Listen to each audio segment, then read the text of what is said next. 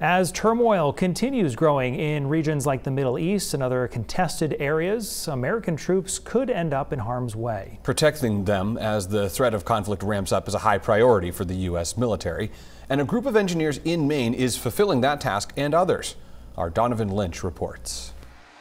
At this warehouse in Brewer, man and machine work on a novel way to keep soldiers safe. It catches everything, so nothing gets through the backside. A team of former University of Maine engineers and business grads is answering the Army's call to find a way of protecting service members stationed in remote and exposed positions. ESPS systems like body armor for a tent.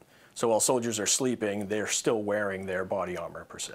This is the Expeditionary Shelter Protection System, a shield made of composite and secret technology that's meant to fit snugly outside of soldiers' tents, capable of absorbing bullets and mortar fragments. It's the idea of Tyler Joliker and his co-founders at the company Compatech.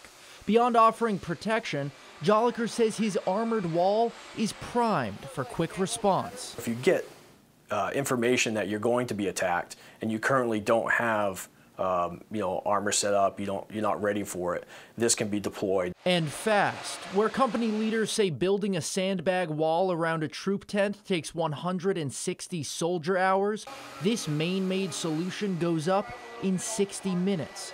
To Compatech co-founder Paul Melrose, it meets the moment. Uh, certainly Ukraine, uh, so much damage and devastation there, and, and a product like ours uh, could, could really help. This technology is getting attention beyond military brass. Melrose says Compatech has been in talks about providing armor to World Central Kitchen, the nonprofit whose convoy in Gaza was attacked by Israeli airstrikes that killed seven aid workers, including one American, earlier this month. I do think that there's a great application for it there. And right now, the Army is Compatech's only client, but the company plans to present its product to leaders with the U.S. Marine Corps in the coming weeks.